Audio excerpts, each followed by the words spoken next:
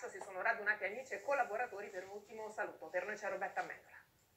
Sul maxi schermo qui in via Merulana, civico 244, le immagini in diretta del funerale il Petro che lascia la Chiesa degli Artisti in Piazza del Popolo per arrivare virtualmente qui al Teatro Brancaccio di Roma, qui dove sulla Saracinesca all'ingresso del teatro è stato scoperto il grande murale dedicato al maestro, un ritratto di Maupal, l'artista che ha dipinto il Papa a Borgo Pio, colonna sonora, le note, le voci dei piccoli cantori di Torre Spaccata, il coro che accompagnò Gigi Proietti in Preferisco il Paradiso, il grazie infinito della sua città.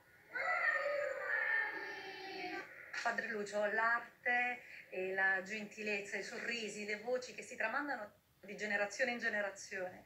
Eh sì, questi sono i piccoli cantori di Torre Spaccata che dieci anni fa cantarono con Gigi Proietti proprio questa canzoncina Paradiso, preferisco il paradiso. Ed ora sono cresciuti ma sono ancora qui a dire grazie, grazie, come lo sta dicendo l'intera città, questa è una piccola testimonianza. Brancaccio dove dal 2001 al 2007 Gigi Proietti fu direttore artistico ma la sua storia inizia molto lontano. Prima, sì, nel 78 quando riaprì questo teatro a teatro con Gaetanaccio e, e Gigi Magno e Gigi Longobardi, i tre Gigi diedero vita a questa lunga storia e dove Gigi venne consacrato.